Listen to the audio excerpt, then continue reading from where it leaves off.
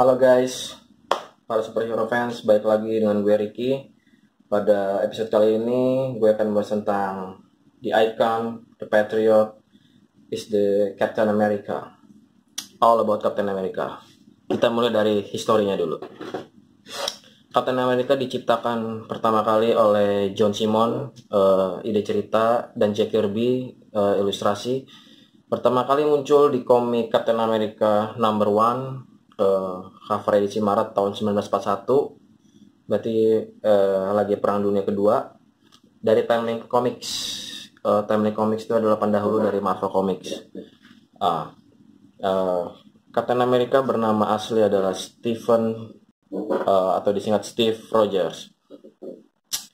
Uh, Steve Rogers lahir pada 4 Juli 1920 orang tuanya adalah imigran Inggris miskin Sarah dan Joseph Rogers uh, Rogers melamar untuk menjadi prajurit Amerika Serikat pada Perang Dunia Kedua, tetapi ditolak di divisi mana pun karena kondisi badannya yang lemah dan sering sakit-sakitan. Uh, sampai suatu hari ia mendapat tawaran dari General Chester Phillips untuk menjadi volunteer di suatu proyek pemerintah yang disebut adalah Operation Rebirth. Rogers setuju dan diperkenalkan kepada Dr. Abraham Erskine dengan codename adalah Profesor Joseph Risten sang pencipta Super Soldier Serum. Setelah eksperimen itu, tubuh Rogers berubah menjadi sempurna dan memiliki kemampuan di atas rata-rata manusia yang normal. Terjebak dalam es batu selama 70 tahun. Nah, uh, gue sedikit cerita kenapa dia bisa terjebak dalam uh, es selama 70 tahun. Jadi, sewaktu dia sudah hmm, diubah sebagai manusia yang super dari tubuhnya yang kecil menjadi besar, menjadi berotot, menjadi kekar, dan menjadi uh, patriot untuk uh, warga negara Amerika. Dan dia ikut berperang bersama Amerika di Perang Dunia Kedua dengan timnya itu namanya Invaders. Salah satunya adalah Bucky. Uh, itu adalah merupakan sidekicknya hmm, yang nantinya kelak dia akan menjadi Winter Soldier. Nah, di akhir Perang Dunia Kedua, April tahun 1945, Captain America dan Bucky ini e, berusaha menghentikan pesawat berisi bom seperti drone plane gitu dari Baron Zemo. Singkat cerita, pesawat itu meledak dan Kapten dan e, si Bucky ini terlempar, terpisah kapten jatuh di atas laut Arktik, sedangkan Baki dipercaya itu sudah tewas atau killed in action. Nah, setelah jatuh ke dalam laut, si kapten ini membeku selama berdekade-dekade, tepatnya 70 tahun. Selama 70 tahun, serum super soldier yang sudah dia terima dari eksperimen sebelumnya, tubuhnya tidak menua uh, dan tidak tidak tewas tapi dia membeku. Suatu hari uh, 70 tahun kemudian para anggota Avengers yang baru terbentuk uh, itu menemukan uh, tubuh Captain America yang sudah membeku ini. Itu ditemukan oleh Prince Namor atau Submariner dan setelah ya singkat cerita tubuhnya dibebaskan dari es dan si Captain America ini menjadi anggota Avengers bahkan menjadi pemimpin dan mereka bersama-sama uh, memerangi kejahatan, menumpas kejahatan di era modern. Oke okay guys, sekarang kita masuk ke powers and abilities Captain America. Captain America setelah uh, dia melewati eksperimen dari Profesor uh, Abraham Erskine, serumnya itu reproduksi terus menerus.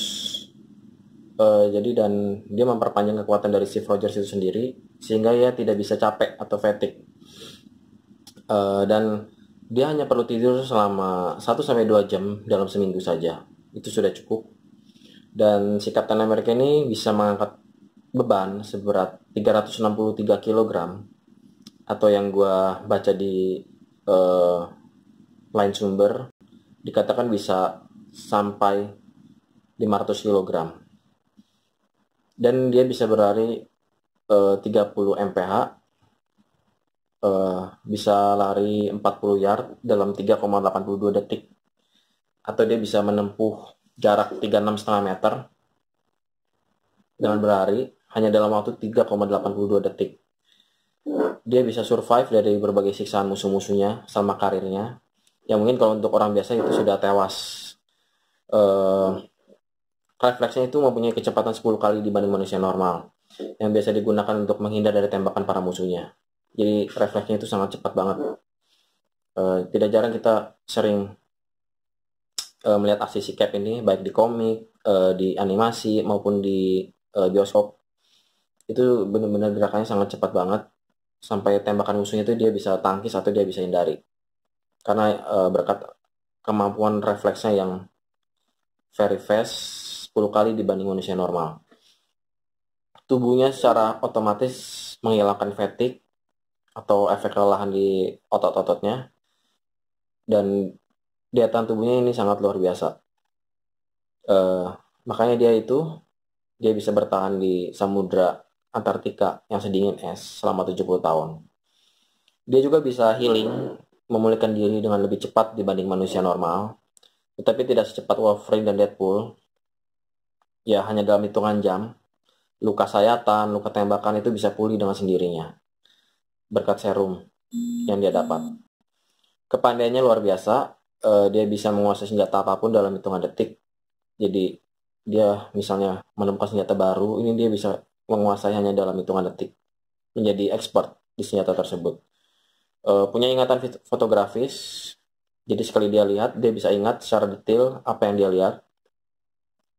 Uh, bisa baca dengan cepat, yang memungkinkannya setiap taktik militer dan menggunakan di setiap situasi. Dia adalah seorang ahli militer yang yang sangat kredibel, sangat-sangat bisa diandalkan. Uh, berkat pengalamannya juga dan berkat kepandaian otaknya uh, selama Perang Dunia Kedua di masa perang tersebut dia sering menjadi ahli strategi dan taktik punya panca indera yang sangat tajam penglihatan, pendengaran, penciuman, perasa, dan peraba di atas atas manusia normal. Serum, serum juga menghentikan proses penuaan, digantikan oleh sel yang sempurna. Jadi kita lihat uh, dia bisa menua seperti yang kita lihat di movie uh, Endgame bagian akhir tetapi ya sangat-sangat uh, lambat sekali proses penuaannya berkat serum yang dia dapat uh, dia juga punya satu kelebihan yaitu dia itu tidak bisa dihipnotis. Jadi dia anti uh, maksudnya apa? Dia uh, benar-benar kebal terhadap hipnotis dari musuh-musuhnya. Uh, selain itu, dia juga menguasai berbagai aliran bela diri atau CQC combat, close quarter combat, seperti boxing, jiu-jitsu, karate, judo, uh, defendo, kickboxing. Uh, selain itu, dia juga ahli menggunakan tamengnya, senjata utamanya Uh, shield ini diciptakan oleh Dr. Myron McLean dan ukurannya itu adalah diameternya 2,5 6,2 cm beratnya itu 12,443 kg dan bahan ini terbuat dari vibranium campuran vibranium dan proto adamantium steel alloy dan si pembuatnya ini McLean ini uh, mengaku dia sudah tidak bisa menciptakan shield ini lagi. Hmm, dikarenakan dia sendiri tidak mengetahui secara pasti apa yang dia buat. Dan shield ini di, diberikan oleh negara pada waktu Perang Dunia Kedua oleh Presiden Franklin D. Roosevelt, uh, Presiden USA pada masa Perang Dunia Kedua, dan di award diberikan secara langsung kepada Kapten Amerika meskipun kita sering lihat pada waktu itu shieldnya belum berbentuk uh, circle round seperti ini tapi seperti emblem uh, segitiga itu. Kalian bisa browsing uh, nanti di akhir episode saya kasih gambarnya.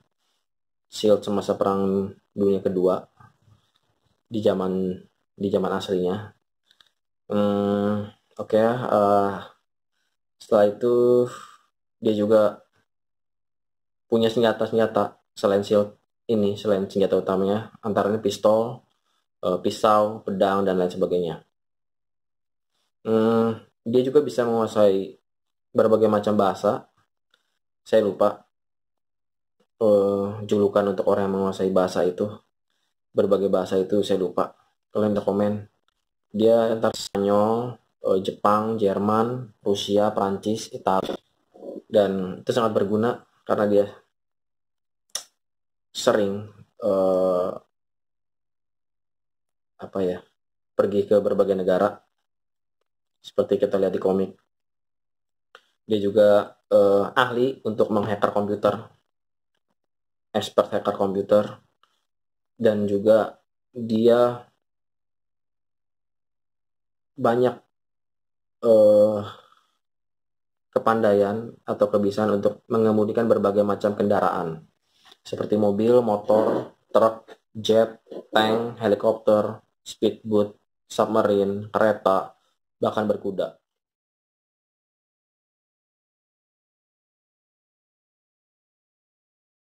Ya. Dan menjadi top 10 uh,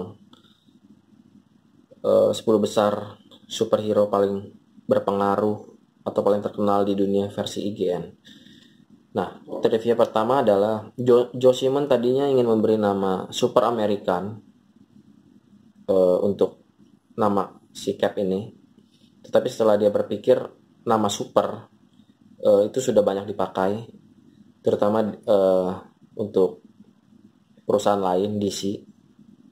Kita tahu Superman dan akhirnya dia uh, berubah pikiran dan dia mengganti nama dari Super American menjadi Captain America ya untunglah namanya diganti kalau Super American tuh kelihatannya kok kurang matching gitu ya yang kedua adalah Captain America ini merupakan sosok idola masa kecil dari uh, White Wilson atau Deadpool.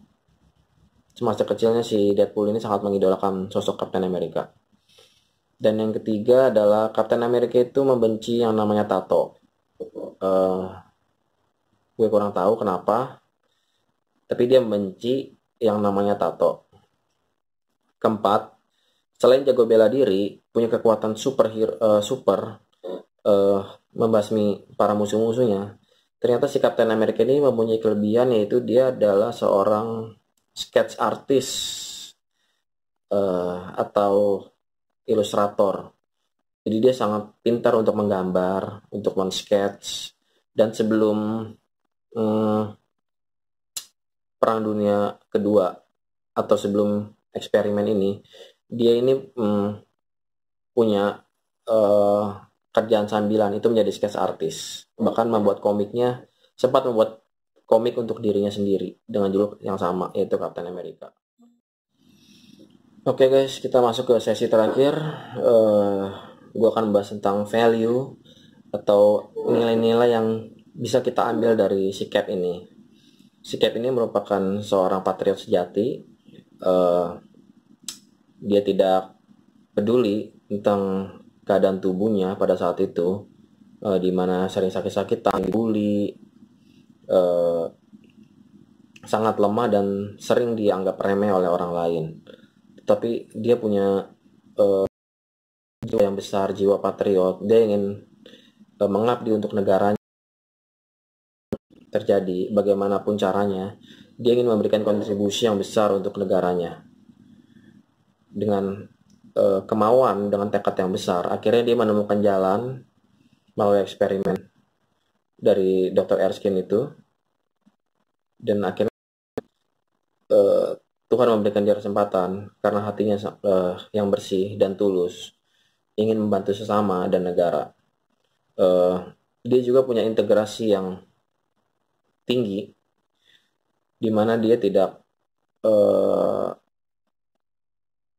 menerima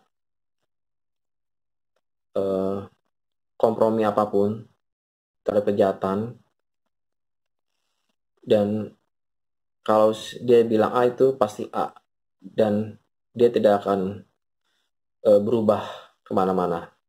Jadi dia ada sosok pemimpin yang sangat-sangat bisa diandalkan sosok yang sangat tegas sosok yang peduli terhadap kawan-kawannya, terhadap uh, sesama superhero, dan dia pun sebenarnya sangat peduli juga terhadap uh, masyarakat sekitar, terhadap orang-orang yang butuh pertolongannya. Ya, gue rasa itu aja uh, video singkat dari gue tentang Captain America ini. Uh, eh, gue tahu masih banyak kekurangan di mana-mana. Uh, berhubung ini video uh, bahas superhero pertama gue. Jadi mohon dukungannya dengan like comment subscribe and share. Dan please masukannya buat kalian semua. Dan gue akan terus belajar kita sama-sama belajar uh, mempelajari superhero yang kita cintai yang kita sukai. Uh, karena menurut gue hobi ini ya sangat positif ya di mana kita bisa ambil intisari cerita kita bisa ambil pelajaran kita bisa ambil value-value dari karakter-karakter yang kita idolakan dari kecil malah. Dan gue saranin kalau kalian baca komik atau menikmati filmnya itu jangan jangan hanya sekilas aja gitu. Tapi kita coba kita gali lagi kita renungkan lagi nilai apa yang bisa diambil untuk kehidupan kita sehari-hari. Oke guys, itu aja uh, video ini, episode ini tentang Captain America. Uh, nantikan video-video episode-episode gue berikutnya. Dan mohon maaf bila ada kesalahan uh, apa pun. Dan see you on the next video. Bye.